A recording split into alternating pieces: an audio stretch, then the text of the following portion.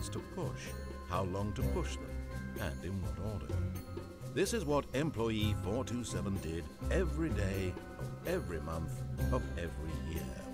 And although others might have considered it soul-rending, Stanley relished every moment that the orders came in, as though he had been made exactly for this job. And Stanley was happy. Et Stanley était heureux. Bonjour à tous, bienvenue à ce petit pas pour le gamer numéro 13. Si ça vous rappelle votre quotidien, je vous plains car moi ça me rappelle. Même si j'en suis pas non plus à taper 4, 8, 15, 16, 23, 42 toutes les 90 minutes sur un, sur un moniteur. Alors euh, je tenais à vous présenter ce petit jeu, Stanley Parable, euh, Parable, je sais pas exactement comment on le prononce en anglais.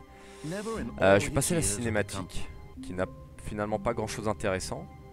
Mais on joue le rôle de Stanley que vous avez aperçu tout à l'heure, devant son clavier, et c'est la fin de la journée. Et il doit, euh, je, je sais même pas si c'est spécifié qu'il doit rentrer chez lui. C'est un petit jeu indépendant qui est sorti en octobre 2013, il coûte 12 euros sur Steam. Et il a été fait par Galactic Café. Galactic Café, j'ai voulu un peu voir qui était euh, derrière Galactic Café. Il n'y a que deux personnes. Donc sur leur site web, euh, on, peut, on peut avoir la, la liste, si je puis dire, de ces deux personnes. Euh, le site est, fait, est plein d'humour aussi, un peu à l'image de ce jeu, euh, comme vous allez pouvoir le constater. Mince, je, suis- je suis même pas sûr d'avoir pris le bon chemin. J'ai pas- fait attention où j'allais. En fait, vous avez dû entendre, il y, a une- il y a une voix off. Et, et ce, ce qui est assez intéressant dans ce jeu, c'est que l'histoire nous est narrée en fonction de ce qu'on fait. Voilà. He entered the, the door on his left. On nous, on nous indique, on, on nous narre le fait qu'on a pris la porte de gauche. Donc on va suivre. On va suivre la voie un peu bêtement. C'est notre premier run. On va se dire que, que la voix a une, a une jolie voix justement et qu'elle inspire confiance. Ah, c'est sûr qu'il y a- il y a plus grand monde, là, hein, dans les locaux.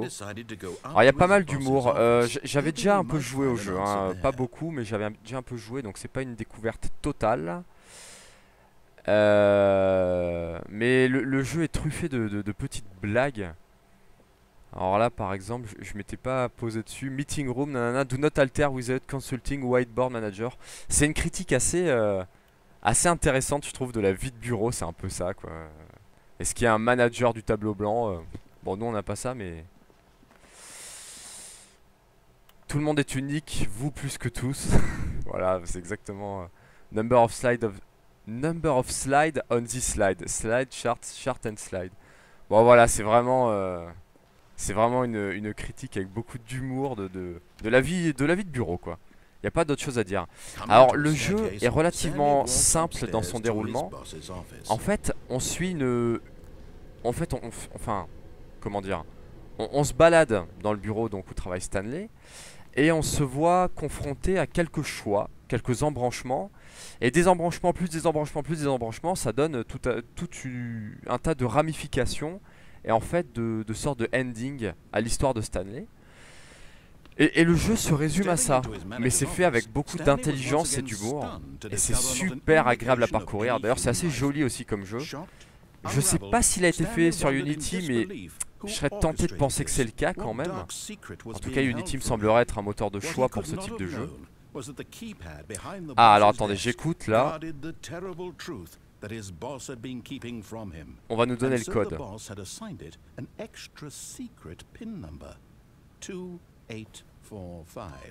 2845. Voilà, bon, si on n'écoute pas, on est, on est coincé. hein. Donc ça ouvre, je ne sais plus ce que ça ouvre. Ah bah voilà.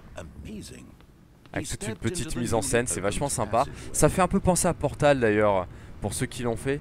On est dans un environnement de bureau, tout ce qu'il y a de plus classique, et hop L'envers du décor.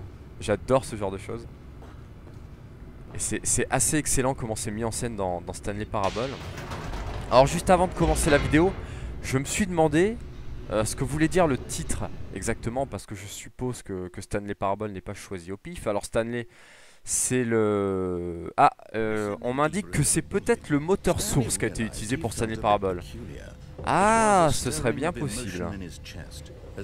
Ah, ce serait bien possible, effectivement. C'est fort possible, je ne sais pas. À vérifier, en tout cas, c'est peut-être le moteur source.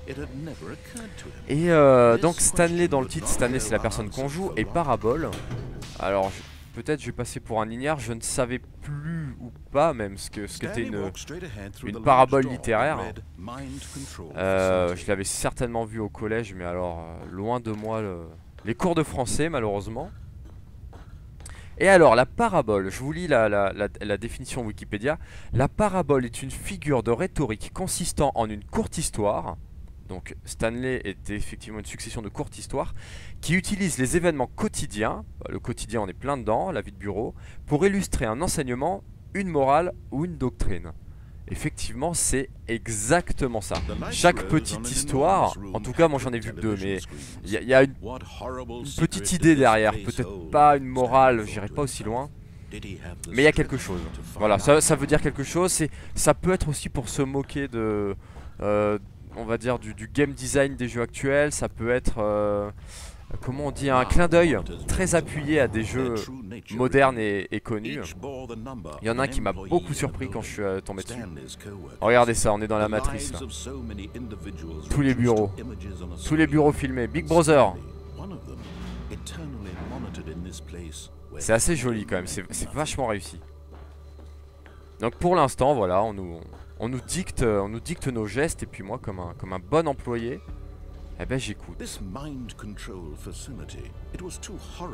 Ah, fired. Fired. Had Stanley really been under someone's control all this time? Was this the only reason he was happy with his boring job? That his emotions had been manipulated to accept it blindly? Bon, j'espère quand même que... que enfin, je, je n'ose pas imaginer que ça existe des bureaux pareils, hein, où l'envers du décor est aussi cauchemardesque. Ce sera assez bizarre. Bon, on s'élève, on s'élève. On prend l'ascenseur. Ah, c'est vrai que le moteur source, c'est très très très très probable en fait. Les, les, effets de lumière et d'ombre font vraiment penser à Half-Life, c'est vrai, et à Portal. Peut-être que ce sont les algos du moteur source. Mind Control Status. Vous voyez, c'est complètement assumé, hein, le Mind Control. Euh, normalement, voilà, je peux interagir avec certaines choses. Stanley decided that this machinery would never again exert its terrible power over another human life. Ah. For he would dismantle the controls once and for all. Donc on nous indique que Stanley, nous-mêmes, nous voulons tout détruire. On ne, on ne veut plus qu'il y ait, euh, comment dire, que l'esprit humain soit, soit corrompu par, euh, par cette machinerie diabolique. Ah, voilà, alors ça c'est typiquement le genre de choix cornélien qu'on a à faire dans Stanley. Off ou on? c'est assez... Euh, c'est assez, assez euh, grotesque. J'adore ce genre d'humour. Allez, off, on éteint tout, comme on nous l'a dit. Et là, avec ça, s'achève le premier run de Stanley Parable. Donc là, on a une fin que je vous laisse regarder. Pareil, c'est assez sympa. Effectivement, il y a, y a, une sorte de petite morale derrière. And a rising chill of uncertainty. Was it over?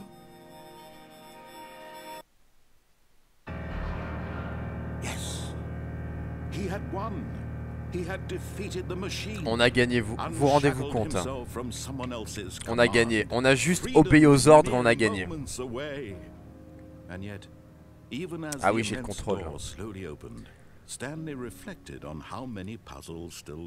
Et mon contact privilégié me confirme que c'est le moteur source qui a été utilisé pour Stanley Parable. Bien joué, contact privilégié, bien joué. But as sunlight streamed into the chamber, he realized none of this mattered to him. For it was not knowledge or even power that he had been seeking, but happiness. Le jeu a quelques, quelques saccades des fois, je sais pas si vous les voyez à l'enregistrement et à la diffusion. Mais le jeu n'est pas, pas toujours fluide.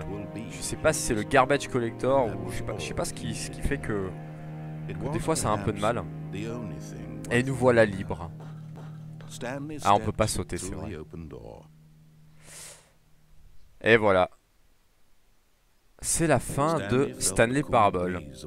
Merci de nous avoir suivis. Non, je plaisante. On va pas s'arrêter là parce que ça, c'est vraiment le, le premier run qu'on nous... On nous l'impose pas, hein. on nous l'impose pas, mais c'est le premier run qu'on nous suggère. Et c'est vrai que la première fois, on peut être tenté de se dire, bah, laissons-nous guider, on va voir euh, ce que les développeurs nous ont prévu. Les développeurs au nombre de deux, je le rappelle, hein, ils étaient deux. Donc il doit y avoir, à mon avis, un game designer, euh, programmeur et un graphiste... Euh, musicien, quelque chose comme ça. en général, c'est ce genre de, de, mélange.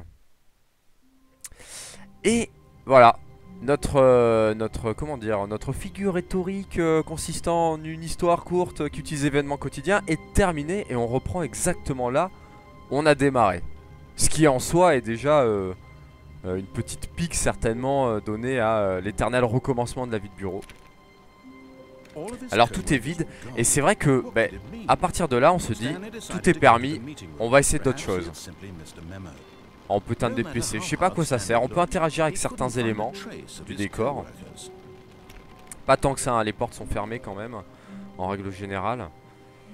Mais les embranchements, tout ça ce sont des choix faciles à, faciles à emprunter. Donc là, on nous indique, on nous invite à aller à gauche. On is left. On va aller à droite. Écoutez. This was not the correct way to the meeting room, and Stanley knew it perfectly well. Perhaps he wanted to stop by the employee lounge first, just to admire it. Voilà, c'est ça qui est assez sympa. Alors d'une part, j'ai oublié de vous, vous, préciser, quand on prend un embranchement, c'est terminé. Vous voyez, la porte s'est refermée, je peux plus faire demi-tour. Ce qui est assez marrant, c'est que la voix narrative euh, va essayer jusqu'au bout de tourner à son avantage les choix que l'on fait. Donc euh, Stanley a pris à droite, peut-être qu'il voulait faire un détour par euh, tel, euh, tel endroit avant de reprendre le, chemin normal entre guillemets. Et c'est assez marrant cette espèce d'intelligence ah, toute puissante. Voilà, vraiment, vraiment une salle qui, qui valait le détour. Voilà, vous voyez, c'est vraiment. c'est très piquant, moi j'aime beaucoup.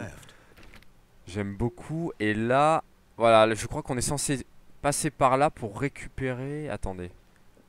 Ouais, voilà, on était censé... Voilà, on nous ouvre une porte pour nous inviter une fois encore à reprendre le chemin classique. Mais effectivement, il y a ce plaisir assez malin euh, et coupable finalement de, de désobéir complètement. Donc désobéissons. Or par contre... Voilà.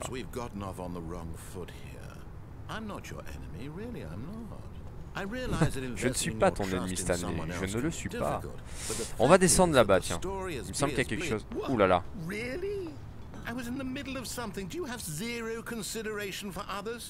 Et en plus, on coupe la personne dans son élan, effectivement, la voix narrative, qui comptait ce qu'on faisait, et nous, carrément, on saute ailleurs, on, on se barre, on s'échappe.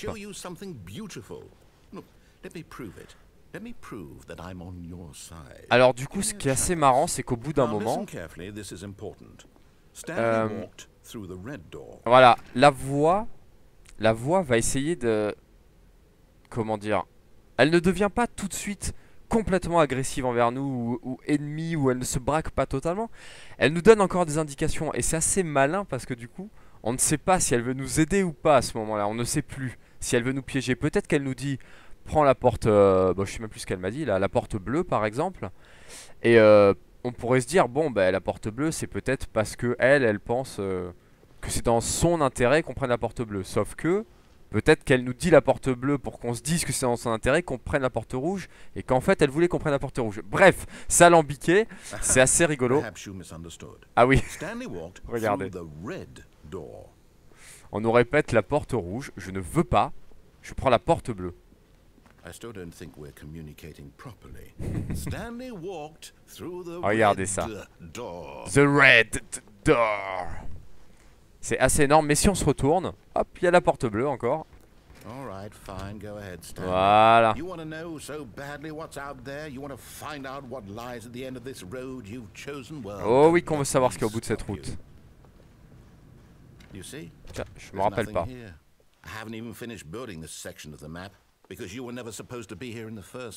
Ah, il nous raconte.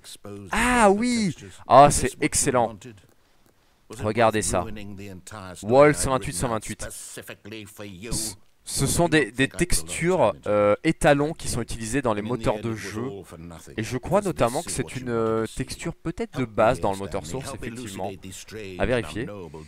Donc là, ce sont des textures de 128 par 128 pixels qui sont utilisées et la voix nous explique que le jeu n'est pas terminé, qu'on n'était pas censé aller là. C'est assez, euh, assez génial comme narration. Alors pour le coup, je ne sais pas où il faut aller ici. Ah, regardez. Il y a des morceaux de texture pas finis. C'est assez malin comme c'est fait. Moi, je trouve ça vraiment, vraiment très intelligent. C'est vraiment chouette. Donc effectivement, on y va. Allez, en plein dans, dans le jeu pas fini. I'm going to stop you there. Now, tell me about your experience with this new version. Would you say that the game benefited from allowing you more choices? Ah oui, on peut noter notre expérience de jeu. I'm looking for some real critical feedback here. Ah bah évidemment, évidemment, je pense que 99% des joueurs vont mal noter exprès pour embêter la voix. A one? I mean, I can understand if you had reservations, you saw ways the game could be improved to more fully express itself. Elle est bien la voix, elle est vraiment bien. Hmm? Ça fait très euh, très série anglaise, je trouve. Uh, dans l'humour, dans la narration. Ça, ça me fait penser beaucoup à Red Dwarf et à um, Black Books. Pour ceux qui connaissent pas, je recommande très très chaudement ces deux séries. Red Dwarf, le nain rouge, et, euh, et Black Books, les livres noirs, je suppose. The Stanley Parable World Worldwide Leaderboard. Good Old Neil is offline. Il a fini le jeu en 2 secondes ou en 2 minutes, je ne sais pas. Total. Ah, non. Non, je pense pas que ces chiffres soient, soient vrais en tout cas pour ça. 21% des joueurs. C'est excellent. C'est vraiment excellent. C'est une mine, une mine d'humour et de, et de bonne, bonne humeur ce jeu, je trouve. Would you say that competitive leaderboard helped you feel motivated to keep walking through doors? Again. Ah, faut noter notre expérience. Je suis pas sympa, je mets 1. Alors que pour le jeu, je mets 5. Hein. Euh, je, je vous ai pas donné mon avis sur le jeu. Et ça dépend évidemment des publics. Parce que c'est un jeu très particulier. Il n'y a pas de, de, game design à proprement parler. C'est une succession de choix. C'est vraiment, vraiment une ramification, une succession. oh non. The the and if he reaches the fire, you fail. It's a very meaningful game. Voilà. L'intelligence artificielle veut vraiment nous forcer à appuyer sur le bouton rouge. Donc elle nous prend par les sentiments. Regardez ça, ce pauvre bébé. Bon, cette pauvre image cartonnée d'un bébé qui va passer dans les flammes. C'est assez immonde. Regardez ça. Oh non. C'est vraiment abusé. Did you do it because you hate babies or purely to spite me? En fait, voilà, ouais, ce jeu n'a pas de game design à proprement parler. C'est vraiment une expérience qu'on... Je, je peux pas dire qu'on l'a subi complètement non plus parce qu'on on fait des choix. Mais on fait, on fait des choix euh, vraiment simples. Ce sont vraiment, en général, c'est complètement... Euh, c'est tout ou rien. Vraiment, il n'y a, pas de. J'ai pas l'impression en tout cas qu'il y ait des, choix en. Ah, l'intelligence artificielle chante. Bon. on, nous, on nous enlève de cette salle à nouveau. Ah, regardez. Ah non, mais c'est génial. Voilà, ben ça, je l'avais fait en fait. J'avais oublié, je me rappelle de ça. Euh, c'est assez. Par contre, comment je fais pour. Euh... Je peux pas sauter? Je peux me baisser. Ah ben mince alors. Euh, clic droit peut-être. Je ne sais pas comment. Attendez. Ah non, d'accord, c'est l'intelligence artificielle qui, con qui construit et détruit. C'est génial quand même. Je sais même pas comment, comment le jeu a eu l'autorisation de faire ce genre de choses. Parce que là, c'est vraiment du plagiat total. Du coup, pas en termes de game design, évidemment. C'est assez excellent. Bon, il veut pas nous laisser passer. Donc du coup, c'est vrai que... Euh, enfin, il faut, il faut vraiment avoir... Bon, on va, on va rentrer là.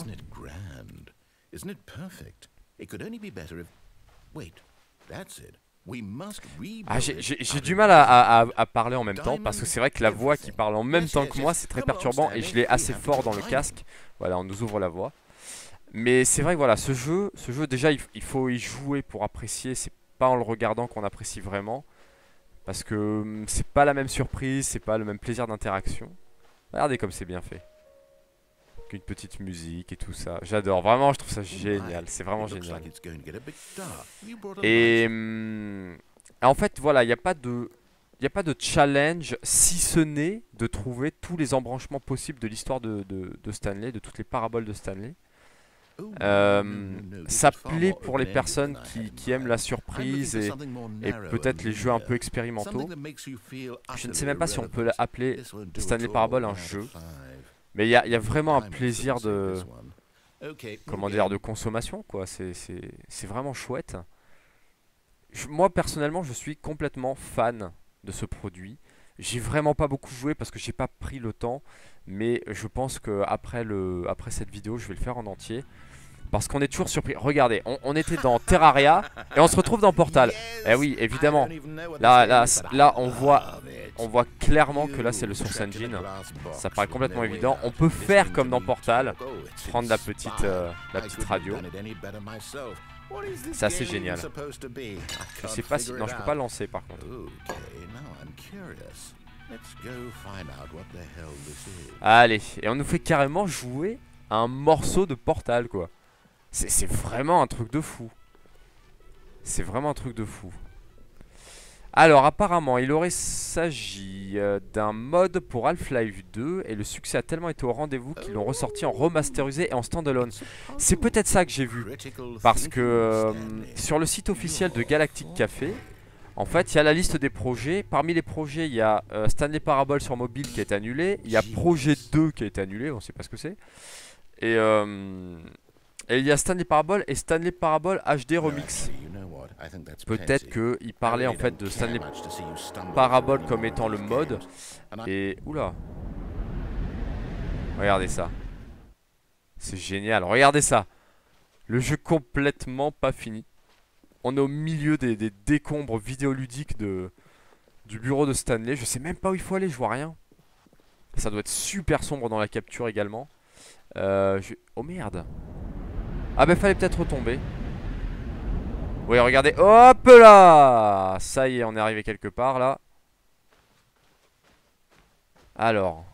Euh... Ouh alors là ça fait pas mal d'embranchements par contre.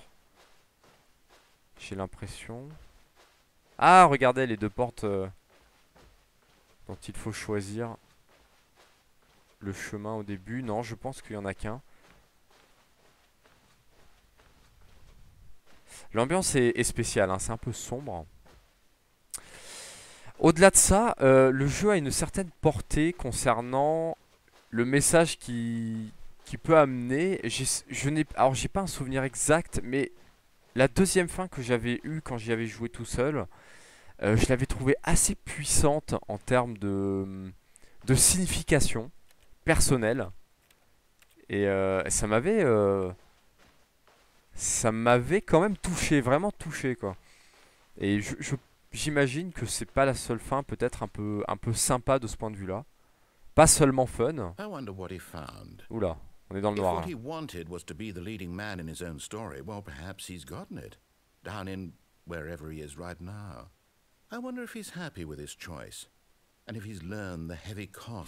Ça revient souvent l'idée du bonheur aussi. Stanley was happy. Et là, la voix se demande si le fait de, de prendre toutes nos propres décisions et de vouloir être le, le, dieu de notre destin, le maître de notre destin, en fait, ça nous rendait heureux. C'est assez sympa, j'aime bien ce genre de petites réflexions.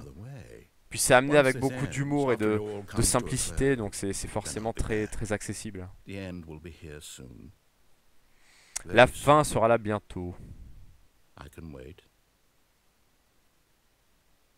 I could wait. Ah, chargement. Bon, y a... c'est dommage, les chargements cassent un peu, je trouve, l'immersion, mais... Ah oui, bah c'était une fin. Figurez-vous que ça, c'était une fin. Je vais essayer d'en faire une deuxième rapidement. Qu'on ait un petit aperçu. Alors, je vais... Je sais pas où je vais euh, changer d'endroit. Peut-être pas la première bifurcation, peut-être la deuxième. On va passer là. Donc là, il est content, voilà. Le monsieur qui nous parle depuis le début, il est content. On a pris à gauche. Tips pour ne pas se faire virer. Parler moins.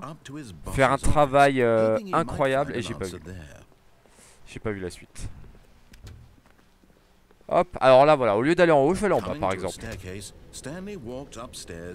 Eh non, downstairs l'ami, downstairs. Voilà, on arrive dans un parking. Il est petit leur parking, hein, il est un peu déprimant quand même. Classe 11 et 12 d'ailleurs. C'est quoi ça 1, 2, B4. Ça n'a vraiment aucun sens. C'est vraiment excellent. Là c'est encore en travaux, vous voyez. Ah, on se retrouve dans le même parking. Euh... Ah non, ça, ça change de salle. Ah non, ça change pas de salle, regardez.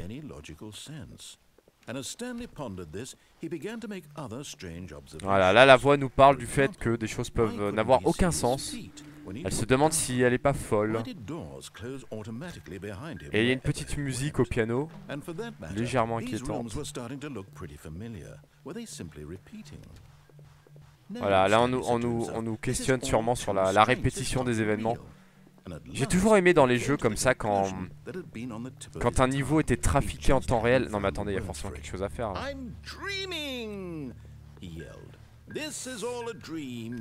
Euh, Est-ce que je peux pas tricher Regardez. Non. His co-workers weren't actually gone. Hmm. He wasn't going to lose his job. He wasn't crazy after all. Je sais pas si je dois bifurquer un moment. Non, ça se referme trop vite.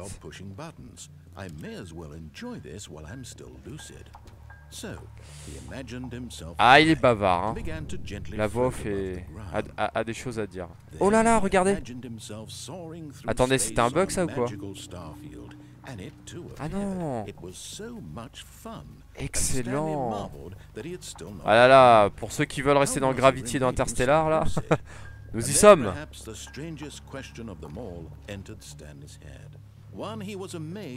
Ah bah y a plus rien là.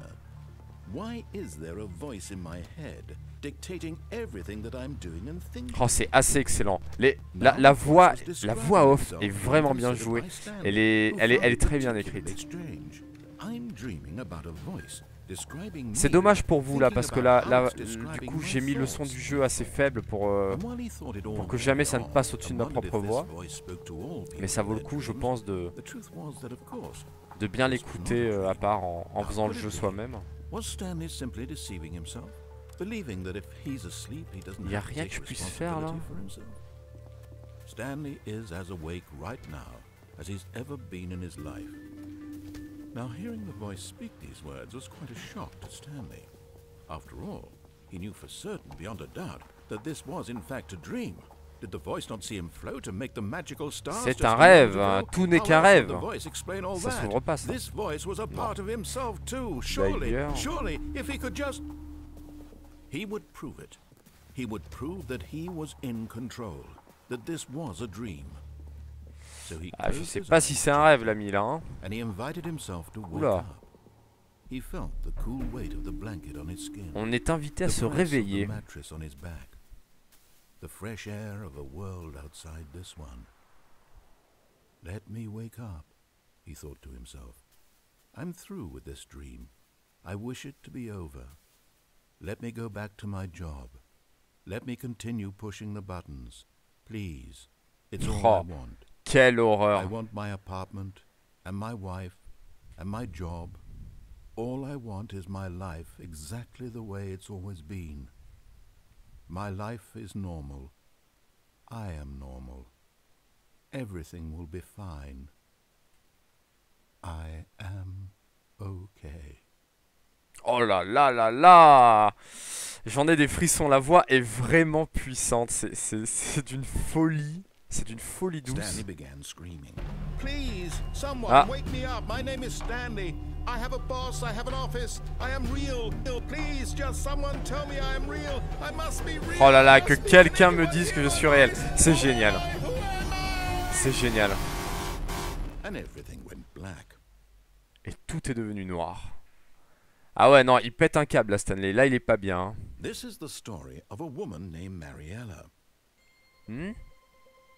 Mariella woke up on a day like any other.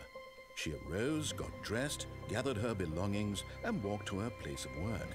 But on this particular day, her walk was interrupted by the body of a man who had stumbled through town talking and screaming to himself, and then collapsed dead on the sidewalk.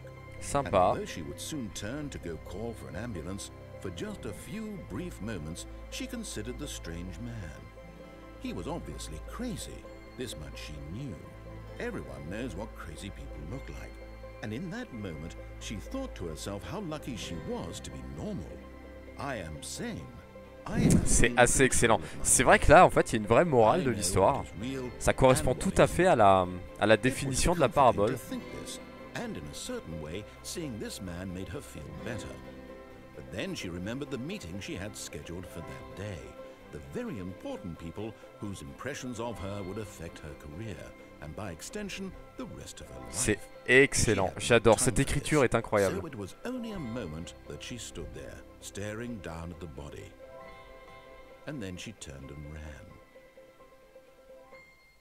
Incroyable. J'adore. Je suis complètement fan. C'est vraiment. euh, ça capture très bien certaines. euh, certaines. euh, comment dire euh, Certaines maladies de notre société, je serais tenté de dire. C'est pas mal du tout. Là, pour ceux qui n'auraient peut-être pas bien entendu ou pas compris euh, ce que disait la voix. Mais qu'en fait, une, dame euh, s'habillait le matin avant d'aller au boulot. Et sur le trajet, elle voit euh, un homme complètement fou qui hurle et qui s'écroule raide mort. Et qu'elle appelle l'ambulance et que pendant un, un bref instant, elle a. elle a eu une considération pour cet homme en se disant qu'il était fou, mais qu'est-ce qui a bien pu se passer? Mais qu'après, ses pensées revenaient immédiatement à, à sa carrière, aux gens importants qu'elle avait rencontrés dans la journée, etc. Je trouve ça assez excellent. Assez excellent, euh, celle-là je la découvrais complètement. Et je ne vais pas vous proposer d'autres fins parce que je pense qu'il faut... il faut vraiment que vous les découvriez par vous-même. Euh, c'est aussi l'intérêt de ce jeu, entre autres. Ce serait dommage, et puis c'est pas du tout le but d'un petit pas pour le gamer. Donc je vais en rester là. Euh, c'est pas vraiment un jeu vidéo, c'est plus une expérience. La prise en main, elle est ultra simple, hein, on ne fait que marcher et appuyer sur des choses. Euh, très bonne narration, graphiquement c'est très agréable. Le jeu ne doit pas être très très long, hein. je pense qu'en 5 heures on a fait le tour euh, vraiment à fond, je pense. Je pense, peut-être que, peut que je me trompe. Mais vu qu'il y a euh, 10 succès sur Steam, j'imagine qu'il y a 10 fins. Ça, c'est à vérifier, hein, je ne fais que supposer. En tout cas, je vous le recommande très chaudement, même à 12 euros. Euh, Pour moi, c'est vraiment le genre de, produit qui peut laisser une marque et, qui permet euh, vraiment un bref instant de, vraiment s'évader, de penser à autre chose. Euh, c'est- très très très agréable. Et, hum, c'est intelligent dans sa construction. Voilà, on ne nous prend pas pour des débiles. Euh, je sais pas, il y a quelque chose de, très respectueux envers euh, le joueur ou au moins la personne qui, participe à cette expérience. Voilà, c'était euh, The Stanley Parable. Je vous le recommande vraiment, vraiment, vraiment, vraiment. Je vous remercie d'avoir regardé ce petit pas pour le gamer et je vous dis à la prochaine. Ciao